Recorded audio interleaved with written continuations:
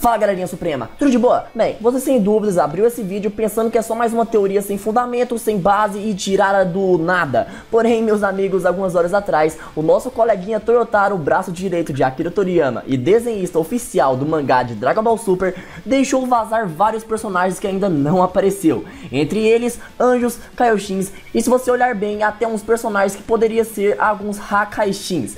Bem, eu não tô louco, não é teoria e nem viagem, a única coisa que a gente sabe é que o Toyotaro nos deu um grande spoiler do futuro de Dragon Ball Super. Bem, a primeira coisa que chamou a nossa atenção foi uma nova anjo, que não sabemos de qual universo ela pertence, porém sabemos da sua aparência e que ela se chama Mokora. Ela tem um penteado bem parecido com a da Buma lá do Dragon Ball GT. E como vocês sabem, só apareceu 12 anjos até agora. Então essa anja deve ser de um dos seis universos que foram apagados pelo Zeno no passado. Não só isso, também tivemos um desenho de alguns Kaioshins, entre eles um cara que tem um topete gigante e um cara que parece muito o Tal Pai Pai, com uma trança muito grande é, jogada pra frente.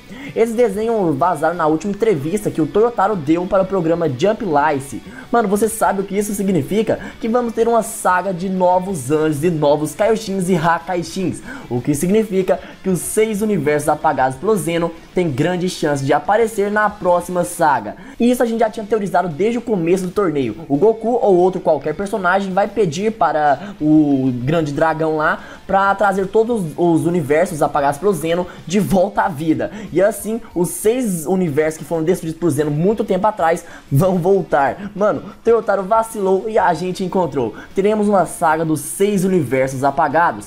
Mano, isso não foi confirmado pela boca de nenhum roteirista, nem desenhista, nem pelo Toyotaro e nem pelo Akira. Porém, não faz sentido ele desenhar, dar nome ao personagem e deixar exposto em um quadro no seu quarto para ele não usar no futuro. Bem, o que sabemos é que anjos, deuses e novos universos nos esperam em uma próxima saga. Então, gente, eu peço para todos vocês que compartilhem essa novidade para todos os seus amigos e falo para eles se inscreverem no canal, porque notícias e novidades assim você só encontra nesse canal, pelo menos quando a notícia sai. Então se inscreve no canal e vamos rumo aos 100 mil inscritos e que venha a saga dos universos apagados. Então, até a próxima, fui!